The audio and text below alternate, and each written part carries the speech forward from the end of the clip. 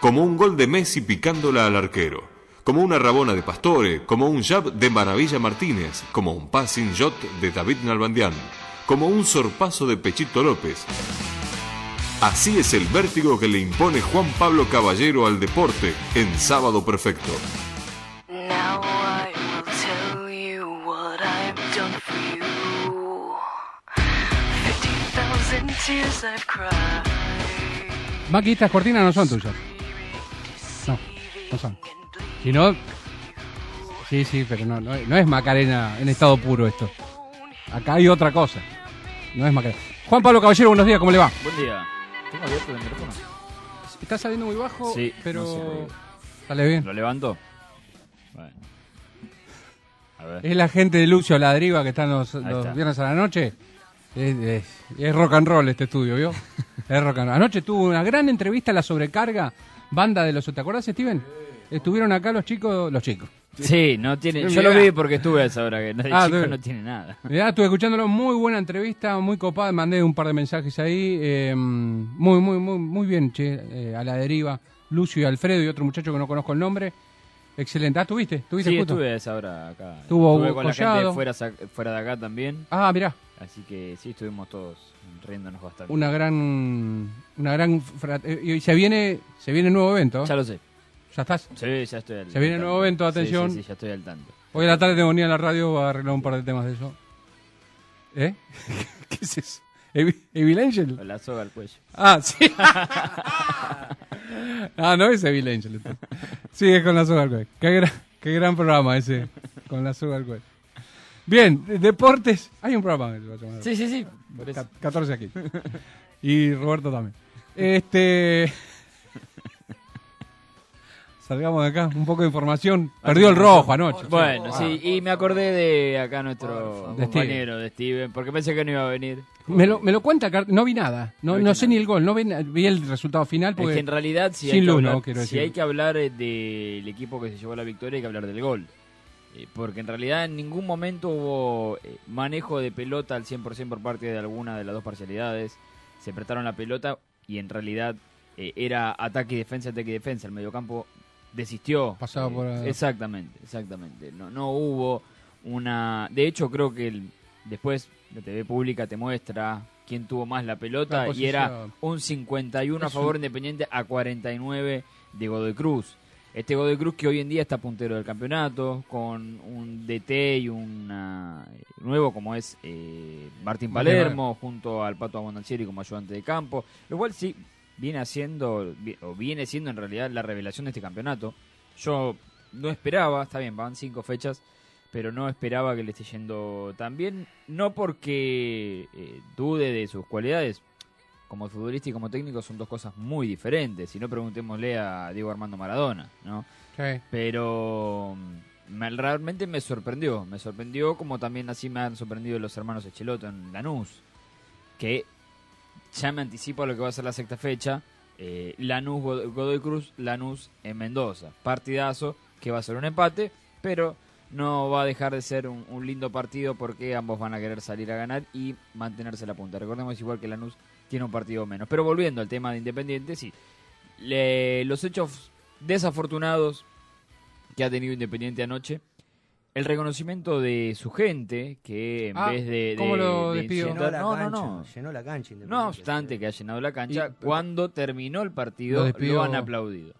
¿Eh? ¿Por qué? Eso es una actitud distinta del público que independiente. realmente hubo eh, por parte de Independiente la actitud de querer llevarse el partido. Es más, si vemos las situaciones de gol, por lo menos Independiente tendría que haber ganado 2 a 1 ese partido. Ah, Por lo menos, ¿eh? solamente en el segundo tiempo. Eh, la dedicación y que han dejado lo- los jugadores, y eso está bueno que el hincha de Independiente lo reconozca, reconozca. porque si no se le va a hacer eh, muy difícil llevar a cabo estas eh, 14 fechas que faltan. ¿sí? Y es por eso que hay que sacarse el sombrero en ese sentido, de que decir que la gente independiente aplaudió a este equipo que se llevó una nueva derrota. Esto viene acompañado también de, bueno, atrás quedaron las de las victorias frente a Vélez y frente a Racing, ¿no? Y se acumulan las de Arsenal la semana pasada. Inesperado. Inesperada, Inesperada, por supuesto. Y la confianza que tenía el conjunto Claro, de era sobre todo por eso. impresionante. Sobre todo por eso. impresionante. y se termina llevando dos derrotas consecutivas de local y de visitante. Lo cual lleva a que hoy Independiente esté en zona de descenso directo junto a Quilmes. Eh, la costumbre de decir descenso directo, ¿no? Porque ya no, sí, no hay más no promociones. más. Pero Quilmes con un partido menos.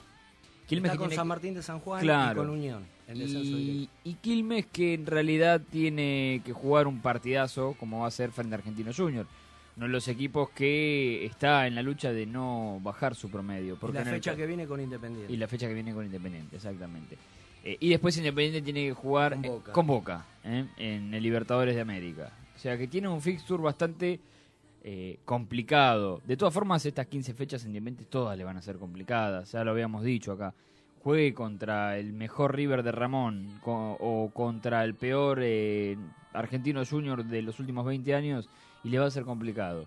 Eh, acá juega mucho en cuenta la psiquis de los jugadores y el mismo hincha que ante cualquier imponderante eh, surge la bronca y la impotencia de no poder llevar a cabo porque pasa lo de ayer.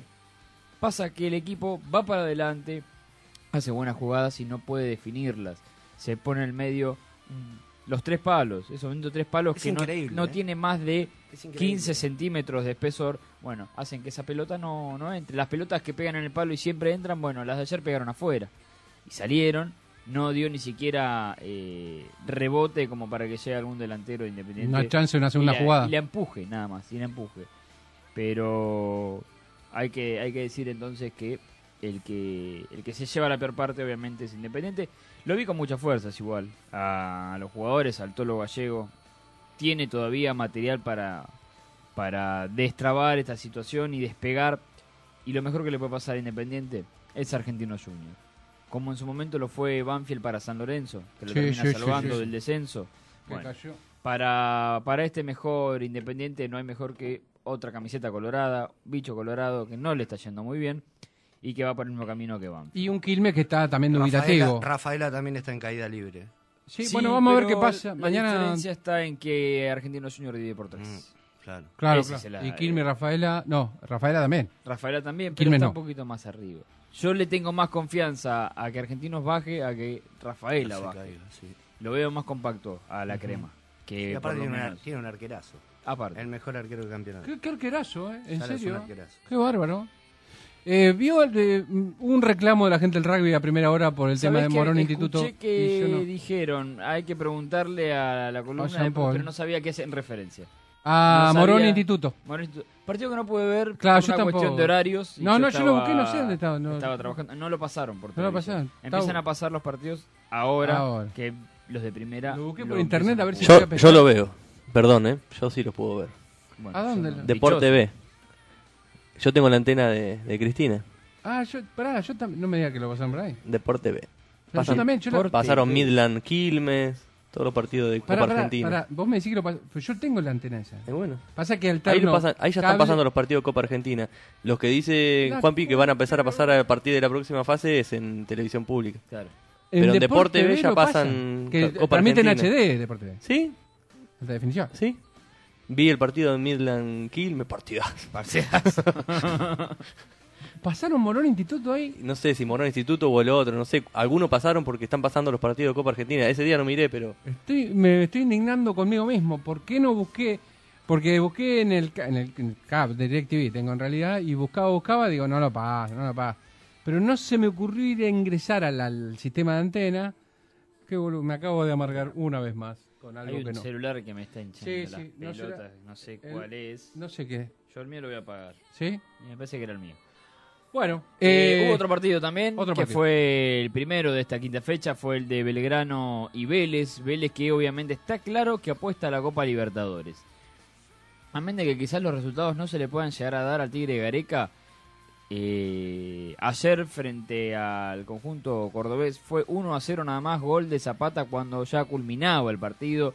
Faltaban pocos minutos para que termine y el Pirata Cordobés se llevó, se quedó con los tres puntos para Córdoba y no así el Fortín que apuesta, como dije recién, todo por el todo para esta Copa Liber- Libertadores, un Vélez que fue sancionado por la Conmebol que no va a poder llevar público. Bueno, sanciones que para mí, esto tiene que ver todo con el partido Copa Libertadores que jugó en Uruguay frente a Peñarol, donde hubo incidentes con los hinchas de Vélez, que no eran una gran, gran mayoría, y esto que no lo toma mal la gente de Vélez, sino que me parece que para la cantidad, el caudal de gente que había de, de hinchas carboneros a los, no sé si eran 200, 300 hinchas de Vélez que estaban en Montevideo, realmente me cuesta entender la sanción que ha tenido el conjunto velezano. Para la Copa Libertadores no es la primera vez que pasa. Recuerdo también que no habían podido llevar ellos bengalas y sí el visitante. No es la- Y le pasó tanto en el torneo local como en Copa Libertadores. Copa Sudamericana había sido en ese entonces también, donde el visitante hizo una fiesta con fuegos artificiales y el local porque tenía ese, ese detalle suspendido, no, en la misma cancha, los dos jugando en la misma cancha. Bueno, tiene ese tipo de, de, de matices el fútbol sudamericano. No creo que sea así el europeo, es un poco más rígido en ese sentido y en otros aspectos también. Pero eso tiene que ver con respecto a Vélez y Belgrano ayer en el primer turno de esta quinta fecha. Me hablaban de la Copa Argentina, me hablaban de que, sí, es histórico lo que pasó con Morón, derrotó a Instituto el miércoles, si mal no recuerdo, día en que hubo otras noticias que opacaron esas, ¿no? Quizás acá en lo local, lo que es Hurlingham, Morón, Aedo, Palomar, eh, tomó mucha más resonancia. De hecho, muchos amigos de, de Morón, bueno, eh, vi la cantidad de mensajes y fotos y aliento que eh, para con el gallito de acá de, de zona oeste.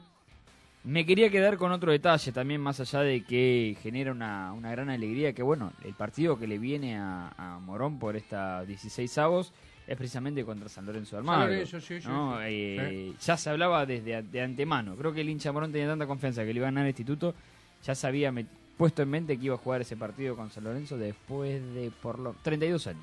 Alguien me dijo, ya me anticipó, no sé qué conexión tiene adentro con San Lorenzo, que San Lorenzo tiene un frente abierto ahora que es el torneo local, donde Sí. tiene aspiraciones, amén de engordar un poco más nuevamente el promedio.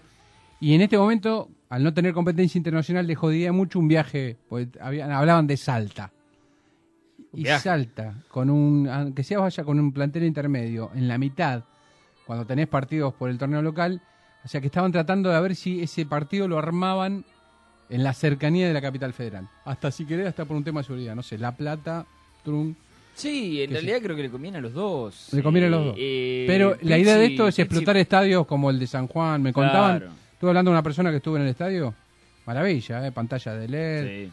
Estacionamiento 3.000 Sí, autos. Bueno sería que la organización no Eh, esté Impida a- no no no que, que esté vayan- al- a, la, a la par de una, una copa a nivel eh, nacional.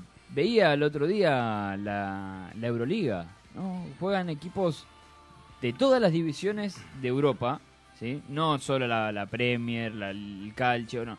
Son todas las divisiones de Europa jugando una liga Sí, en todo el continente europeo sí, sí. se puede llevar a cabo. Estoy hablando de una cantidad inmensa de equipos, no Sí. solamente los de acá que son de todas las divisionales de ascenso y primera división. Nos quedamos cortos comparado con lo que es Europa, la cantidad de países que tiene Europa. Eh, estoy hablando de un continente entero armando un campeonato y se puede llevar a cabo. Acá quieren armar o hacer algo parecido, jugando en un mismo estadio. Ya pasó el año pasado esto. En un mismo estadio y claramente Morón y Huracán, que vienen ambos, uno del conurbano, el otro de Capital Federal, van a ir por una misma ruta. Sí. No, no hay cinco rutas para llevar a San Juan. Pero ya pasa cuando juega el Superclásico en Mendoza. Se sabe que llegan todos Mendoza, van por una sola ruta. Sí, pero la, la tensión es otra. La tensión es otra. Vos lo dijiste, eso es un superclásico. Acá Mm. creo que cada uno lleva 15, 13 micros cada uno. Sí. Con una diferencia de dos horas se va a jugar un partido. Cuatro equipos iban a jugar. Eh, y está claro que los que van a ir por la misma ruta, porque no sé de Córdoba a dónde llegás, porque el Instituto también se hizo presente en ese, en Sí, ese sí, estadio. sí, sí, sí. No Sí, sé por qué ruta irás, pero se cruzaron ambas hinchadas, hubo obviamente Me hablaban más. de emboscada. De la hinchada de Huracán esperando O sea, la no de creo- Morón. No, a mí no me llegó eso. Por parte de. Huracán, ¿eh? no hablé con nadie de Morón. Sí, no yo hablé con los estaban esperando. Sé que la gente de Morón hablaba emboscada, pero por el lado de Huracán hicieron oídos sordos a absolutamente cualquier acusación. Eh, y de hecho no había fundamentos para llevar a cabo una emboscada. Una emboscada. Eh, y esto, por lo menos en mi caso, yo me, me, me fijo muchas cosas, antecedentes, cuándo qué pasó algo, por Claro, qué. Y en realidad no hay nada que eh, una el fundamento de Morón de una emboscada. Creo, y que no lo toma mal la gente de Morón, eh, es más para, para tener algo de qué agarrarse. eh, Por el episodio por violento. todo, por el episodio violento, pero no es la primera vez. Morón está, le han sacado plata de entradas cuando no había pasado nada o no había hecho de violencia tan importante como para que la AFA empiece a recibir plata de las entradas de Morón. ¿no? Y, y esto está a, a flor de piel en, acá en el oeste del conurbano. Mm. Diferente va a ser Huracán. Pero por el lado sé que de, de los quemeros no había no había nada que tenga que ver o que haga parecer una, una emboscada. Simplemente los mismos colores de la camiseta, diferente escudo en este caso, y llevó a cabo eh, ese enfrentamiento. Después, si querés, en el próximo bloque tenemos obviamente Turismo Nacional en automovilismo, hay Indian, Indian Wells, eh, que tienen que empezar a competir los argentinos. Jan Albandián comenzó. Y también tengo un breve repaso, porque algo sí, si algo que me llamó la atención del partido de Independiente ayer, y no sé si alguno se puso a pensar en eso, es que desapareció eh, los problemas en el- con la barra y la dirigencia de Independiente.